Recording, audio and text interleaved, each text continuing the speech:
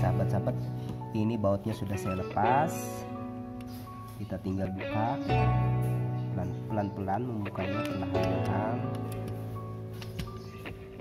Saya takut kalau nah. Jadi sahabat-sahabat ini kuncinya ini hanya seperti ini penampakannya ini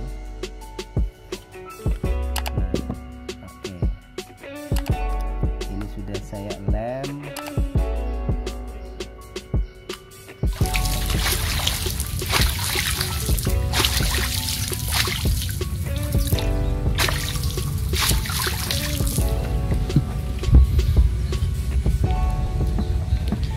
Oke, assalamualaikum warahmatullahi wabarakatuh, sahabat-sahabat. Kali ini saya berbagi uh, kesedihan ya. Kunci ruangan saya ini rusak nih, maklum ya, zaman corona. Nah, tadi saya susah payah membuka, eh ininya tertinggal di dalam ya. Nah, sekarang bagaimana cara menyambung ini? Ini yang saya pikirkan.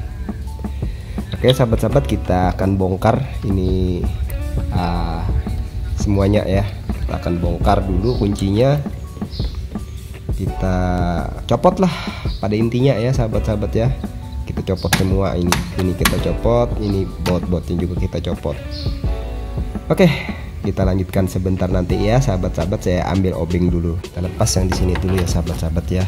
Nah kita lepas dulu gagangnya.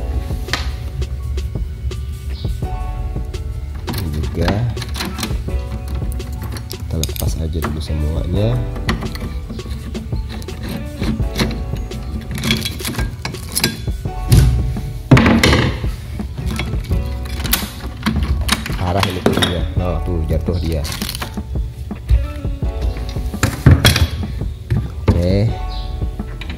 sudah kita copot. Habis itu kita copot yang ini. Ini kita copot ya. Untuk melepas silinder kuncinya. Oke sahabat-sahabat. Nah, eh nah, dia tuh copot dah. Kemudian kita lepas baut yang ini lagi untuk melepas sarang kuncinya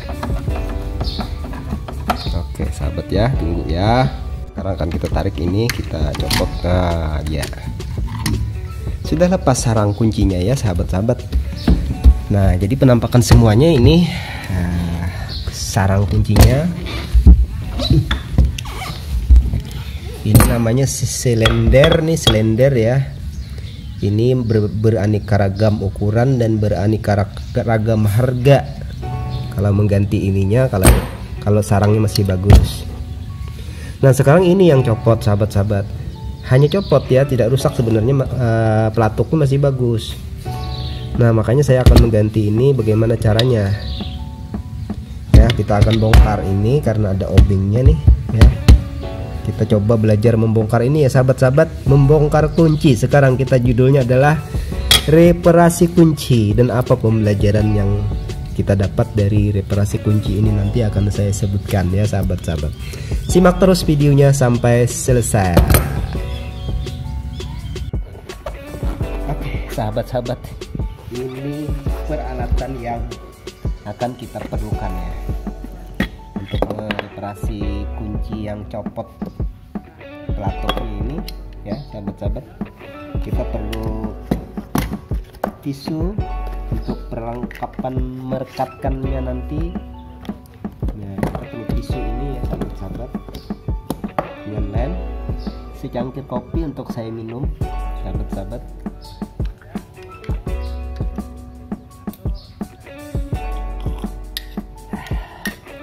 enak. Kopi jahe. Ya sahabat-sahabat kita akan bongkar ini. Kita kesampingkan dulu ini sahabatnya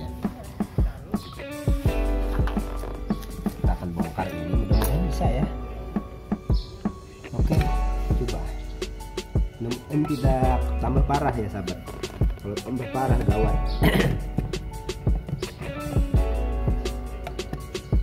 Ayo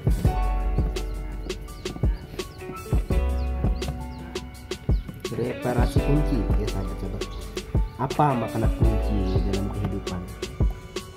Yang namanya kunci itu ya gigi selisih antara gigi dengan sarangnya dia tidak bisa masuk artinya hidup ini perlu sinkron ya antara yang datang dengan yang yang ada. Harus mempunyai kesamaan tujuan. Kalau berbeda tujuan maka uh, akan beda juga hasilnya ya sahabat-sahabat ya. Ini saya ngeri juga ini. Saya tidak tahu bukanya di mana di mana sahabat-sahabat ya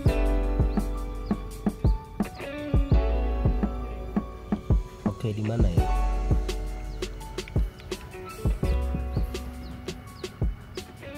Ngeri juga nih membukanya. Ini bisa dibuka tidak ya? Oh tidak bisa nih harus pakai tang sahabat ya. Ini dia. Oh. Jadi begini ya. Nah sahabat. Tidak rumit sih isinya. Cuman gini dong ya. Cuman gini doang ya sahabat-sahabat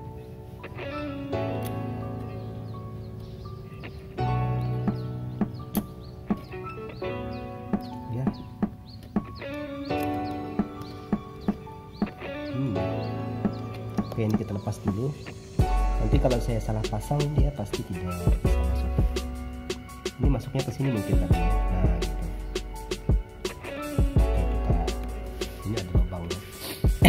40 ini sahabat. Ini kita copot atas. pas lepas pernya hati-hati kalau pernya hilang bahaya. Ya sahabat.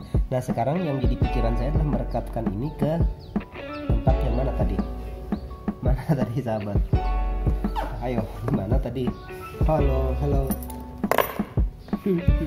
Ini dia dia mau ikut ngopi ya sahabat-sahabat. Dia mau ikut ngopi dengan saya.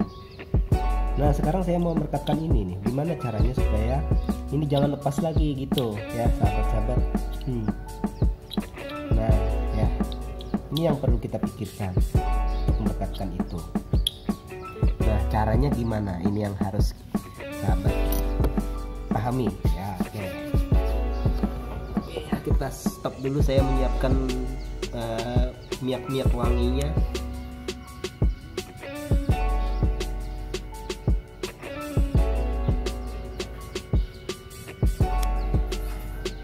Ini harus kita bersihkan dulu dengan thinner. Maksudnya supaya ketika kita ngelem kita kita ngelem bukan ngelem yang mabok ya.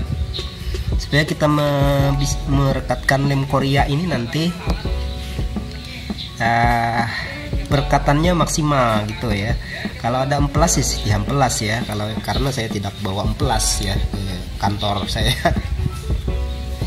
Jadi ya saya seperti ini aja. Menggunakan bensin di atau uh, thinner ya thinner A. Yang cepat kering lah jenisnya.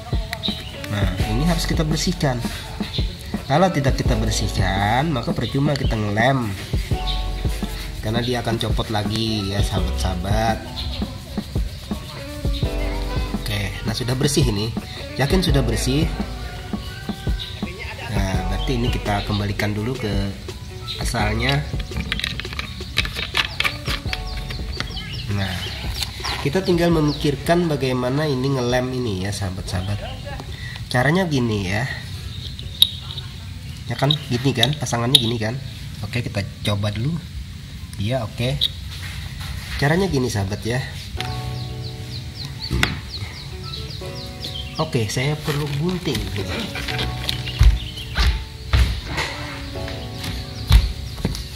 Ini ada gunting sahabat. Caranya gini kita potong tisu. Ya jadi untuk menggunakan lem korea ini tidak sembarangan walaupun dia kuat. Kalau tidak pakai teknik ya percuma jadi harus ada alat bantunya supaya lem korea ini maksimal gitu. Maksudnya sahabat-sahabat. Nah, ini kita lipat begini untuk masuk ke sana nantinya untuk menjadi pengganja. Nah sekarang ini kita ini kan masuknya gini ya. Nah pastikan ini kena yang bakalan menekan itu ya masukkan di sininya. Oke kelebihan ya. Kalau kelebihan dibuang jangan. Nanti malah kena itu. Nah ini caranya. Nih. Nah ini kan kena seperti ini ya. Nah. Oke sudah. Siap sip. Itu ya. Nah ini bisa kita tambahkan lagi di sini lemnya bisa kita tambahkan lagi tisunya juga bisa kita tambahkan lagi sebelum kita masukkan lemnya kita bisa memasukkan ini mengganjal ya sahabat-sahabat mengganjal. Maksudnya saya cari alat tusuk tambahan. Guys jangan terbang dulu. Ya. Gini segunting bisa ya dipakai. Nah itu lagi supaya nanti ketika kita lem semuanya merekat. Nah kita masukkan ini ya. Itu. Masukkan lagi. Nah gitu ya. Lemnya harus pastikan yang cair jangan yang kental ya sahabat-sahabat jangan yang sudah lama. Ya. supaya dia bisa meresap ke, ke uh, semua lapisan tisu ini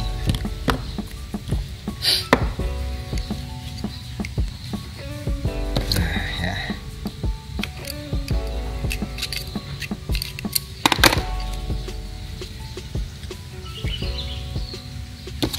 Nah, terus dia sampai penuh ya. Tisu sahabat-sahabat.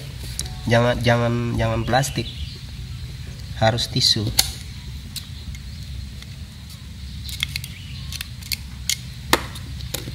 Sudah di sebelah.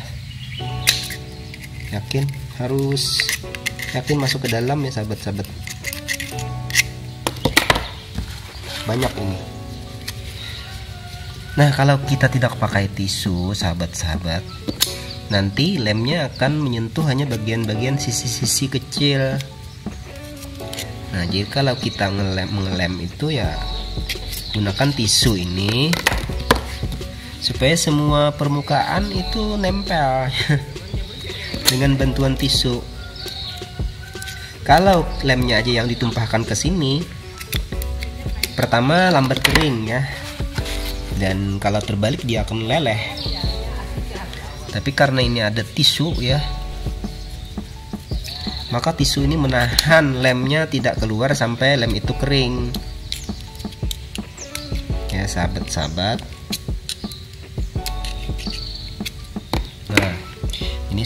penuh sudah ya.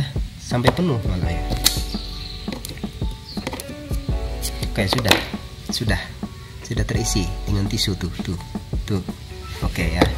Sekarang ininya kita buka. Uh, uh hati-hati mata ya. Oke. Yakinkan dulu ini sudah benar-benar masuk. Dan yakin yakinkan dulu ini benar-benar pas. Bahaya kalau salah. Ya. Kalau salah bahaya nah pas ya. Oke dia gerakannya seperti ini.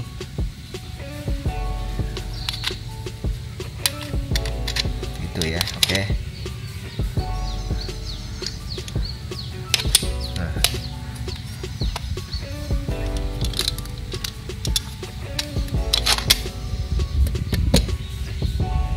oke kita lem dulu apa kita perbaiki dulu ya? Ini kayaknya ada yang ada yang mengganjal ya ketika dia masuk coba tes lagi. Pastikan lancar ya. Ada yang mengganjal ya? Waduh. Ntar nanti saya kalau saya lupa nanti awas. Ini gini tadi ya.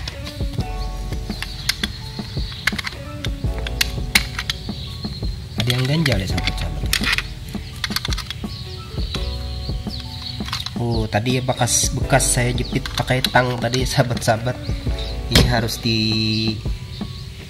pukul-pukul lagi ini. Nah. Oke. Masih ya. Oke sahabat, ini saya betulkan dulu pakai palu. Kita stop dulu ya. Sahabat-sahabat ya. Tadi kan gara-garanya ya saya pukul tadi ya ketika, bukan ketika tadi terjebak di dalam lubangnya saya tarik pakai tang ya rupanya karena saya tarik pakai tang karena ini kuningannya lemah tipis sehingga uh, ininya lempek-lempek yang tidak rapi lagi lalu dia tidak lancar ketika masuk ke lubang ini. Ini sudah lumayan ya. Nah cuma di sini masih tekang nih nih tidak lancar. Cuma bisa aja. Oke bisa aja.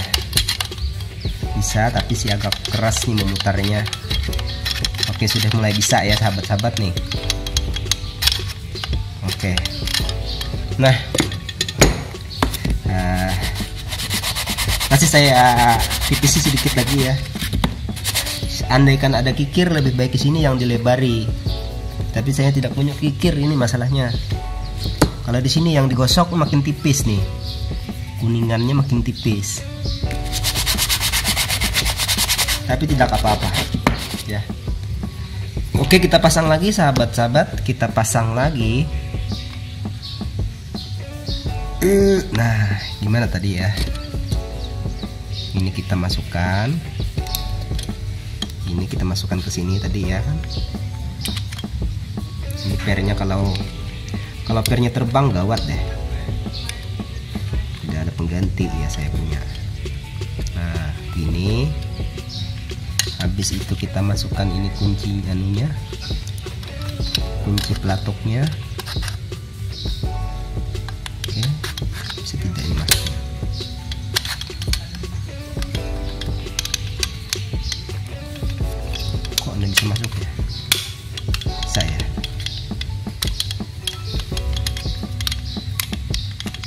terjebak lagi nih.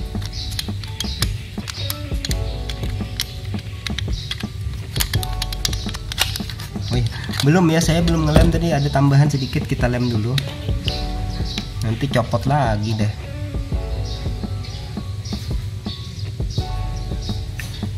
Kita keringkan lagi.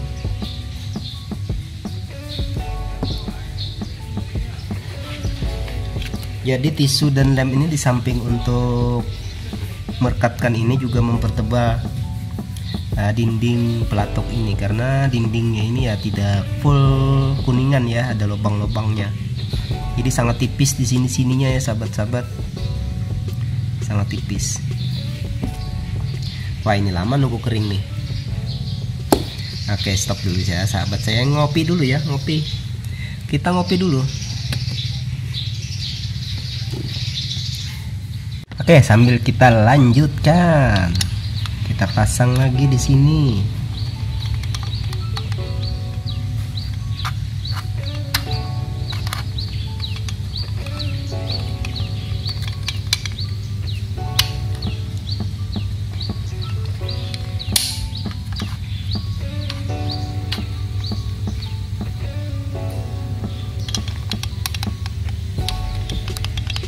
Kenapa tidak masuk ya? Ada apa? Oh itu ya. ya tidak masuk dia. Karena tidak ditekan itu kunci pelatuknya. Nah ini tekan ke sana sahabat nih ini. Nah gitu ya. Biar ditekan 10 tahun juga tidak bisa masuk dia. Nah jadi prosesnya ini untuk menahan kunci level 1 dan level 2 gitu kan. Kalau terdorong ke sana dia bisa pindah maju gitu kemudian diputar lagi ini ini didorong ke sana sambil ini diputar ditarik dia ke sana putar lagi sekali dia ke sana. Gitu ya sahabat-sahabat. Nah. Nah ini untuk menahan nah kuncinya ya untuk menahan. Nah lalu kita sambungkan lagi perangkat-perangkat yang lain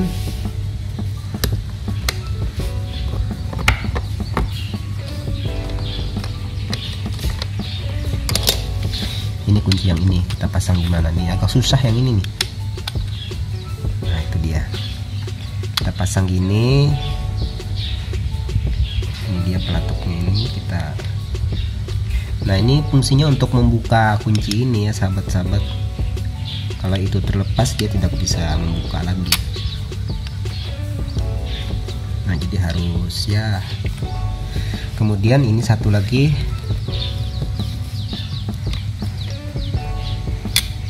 gimana? Saya bingung juga ini. Susah juga ya urusan pegas ini saya paling paling benci. Ya sahabat-sahabat benci juga saya dengan pegas-pegas kayak gini dia. Nakal kadang-kadang. Nah gini ya. Oke. Mudah-mudahan dia, dia tidak nakal ya sahabat. Nah kemudian ini kita kait seperti ini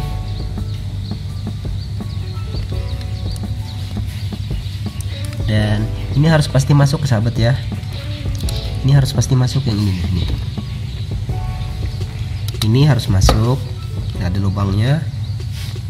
Ini dia lubangnya ini. Ini masuk ke sini. Nah supaya ketika kuncinya diputar dia bisa mendorong ke sini gini gini. Nah gitu ya. Nah dia membuka ini tanpa memutar tangan gagang ini cukup putar kunci di sini. Silindernya berputar. Tuas ini akan membuka ini. Membuka pelatok kunci. Kunci sementara. Oke. Ini sudah beres sahabat-sahabat? Silindernya kita pasang belakangan. Ini dia pelatoknya pelatuk inilah yang menggerakkan uh, kunci ini ke ujung tarik dan tonjol keluar. Nah di sini inilah kunci kehidupan. Sahabat-sahabat ya ada gigi gergi ini sudah diatur dan kemungkinan untuk sama dengan kunci yang lain satu berbanding 100 ya sahabat-sahabat satu berbanding 100 sebab lain kunci ini beda geser sedikit lain lagi geser sedikit lain lagi. Dan kemungkinan ada sih sama kunci ini ya tapi satu berbanding 100 sih sahabat-sahabat.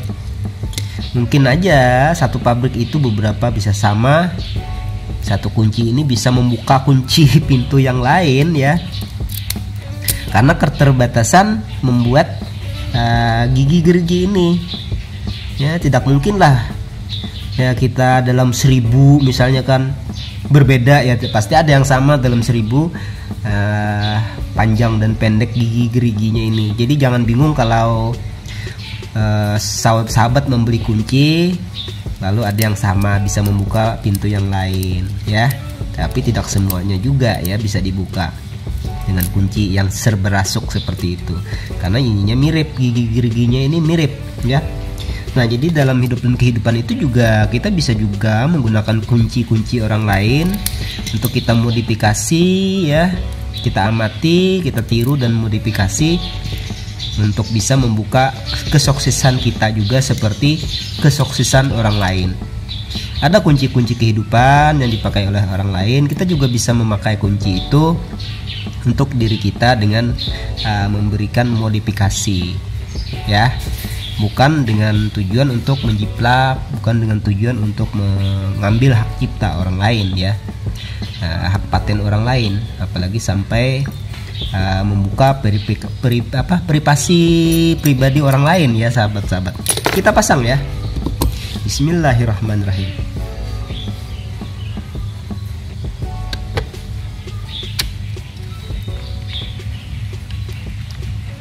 Oke. Okay ada lima mornya sahabat. Satu.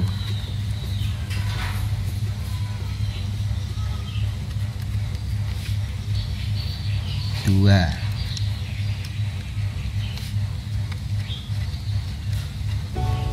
Oh ada enam ya? Ada enam mornya hmm.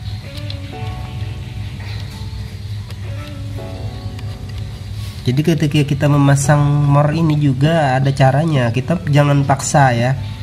Nah kita harus memasangnya dengan kelembutan. Kalau sekali kita menggunakan kekerasan kalau dratnya ini sudah patah ya sudah rusaklah semuanya ya sahabat-sahabat. Jadi kita putar ke kiri ke kanan dulu untuk mengenakan dratnya gini. Berlawanan arah dulu gitu ya. Baru kita putar ke arah kuncinya. Tidak bisa langsung kita uh, keras itu ya bentak itu dulu ya. Kita harus gunakan uh, kelembutan. Kita gunakan dulu arah yang diminta ya. Oleh drat itu baru kita mengarah ke arah pengunciannya gini. Kan balik arah gini ya. Untuk menguncikan ke kanan. Nah tapi putar ke sini dulu untuk mengenakan dratnya. Baru kita putar kalau terasa janggal atau keras atau susah jangan dipaksa ya. Nanti malah merusak uh, dratnya lubangnya. Nah itu sahabat ya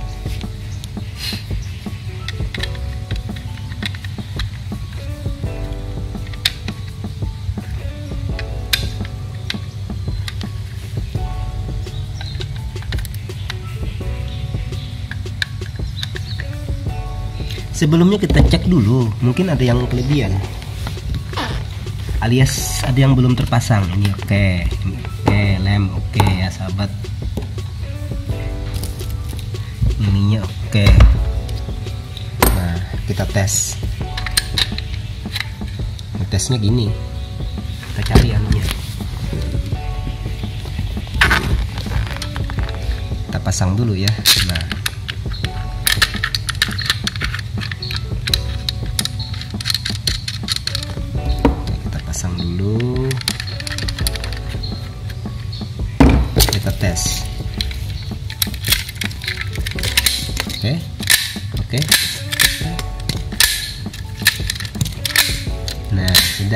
ya.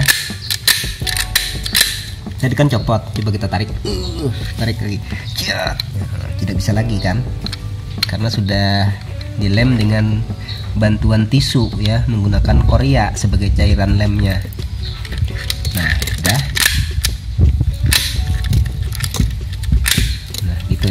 oke. Mantap dah uh uh uh gitu ya ininya coba kita putar di sini. Ya berhasil. Berhasil sahabat-sahabat. Nah sekarang kita tinggal pasang aja lagi kan beres. Oke.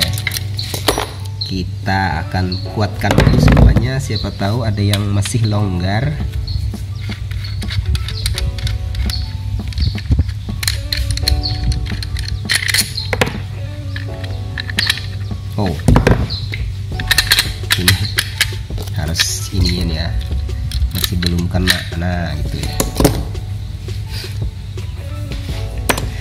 kita kencangkan barangkali ada yang longgar.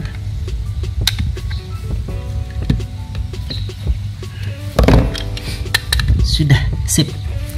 Kunci siap dipergunakan.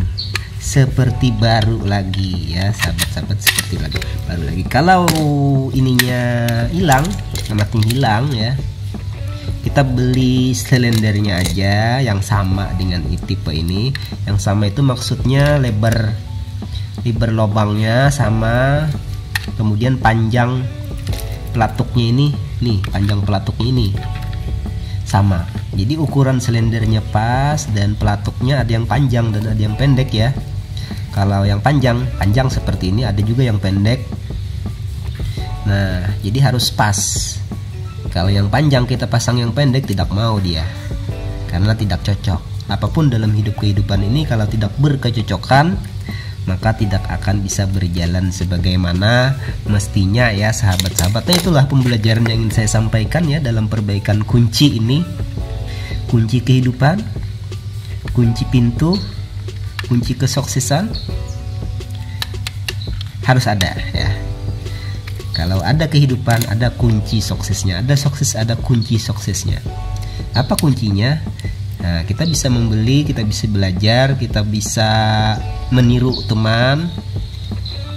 Kemudian kita amati tiru dan modifikasi tentunya ya sahabat-sahabat. Nah, sekarang saya akan pasang yakin sudah ya kita yakinkan dulu semuanya. Sudah kuat ya ini sudah kuat ini sudah kuat ya oke ini sudah kuat juga. Oh ada lagi satu ternyata. Untung saya cek ini. Nah sudah kita pasang. Pasang ya.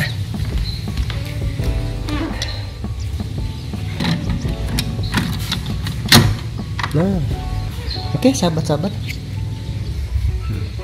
Kita akan pasang ya. Oke.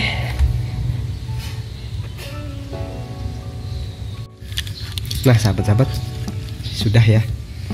Uh, sudah saya pasang tinggal mengencangkan bautnya. Nah, jadi ketika kita mau memasang kunci yang terintegrasi dengan yang lain kita harus uh, pasangnya jangan langsung kencang di satu baut. Jadi harus semuanya harus longgar dulu baru kita, setelah semua bisa masuk baru kita kencangkan ya sahabat-sahabat. Ini nah habis itu baru sini. Nah, saya tinggal ngencangkan aja lagi ya. Kalau sudah dipasang semua mornya. Jadi kita pasang semua dulu pasang longgar dulu baru kita kencangkan. Tidak bisa ya kalau kita mengencangkan satu baut sedangkan baut yang lain belum terpasang itu berbahaya. Nanti bisa merusak yang lain jadi semua harus seirama se seiring dan sejalan itu maksudnya. Nah sudah baik. Dan ini tidak copot lagi. Uh, sudah kita tarik. Uh, uh. oke. Oke terima kasih semuanya ya. Dan konten saya hari ini memperbaiki kunci tapi dengan maksud ya, ada pembelajaran-pembelajaran di dalamnya yang harus kita ya, simak ya, yang harus kita pahami, kita hayati apa maksudnya kunci ini sebenarnya ya. Dan bagaimana cara memperbaikinya, proses memperbaikinya tentu melalui tindakan-tindakan yang seirama dan sesuai dengan uh, alamnya ya. Kunci ini adalah alamnya tadi ketika saya bongkar sarangnya itu adalah alamnya kunci dan kita yang datang kita yang memperbaiki kunci ya harus seirama dan sehati dengan alamnya. Kalau sudah kita berubah merubah dan memodifikasi seperti di sini tadi saya pukul. Nah, nah itu akan kesulitan ketika diperbaiki. Kenapa? Karena kita melakukannya tidak sesuai dengan uh, keadaan dari kunci ini sendiri. Kita harus menyesuaikan dengan kondisinya ya. Kalau nya lemah kita Oke, sahabat-sahabat ya. Nah, sudah selesai. Demikian yang dapat saya sampaikan hari ini di konten kali ini. Assalamualaikum warahmatullahi wabarakatuh. Salam sukses.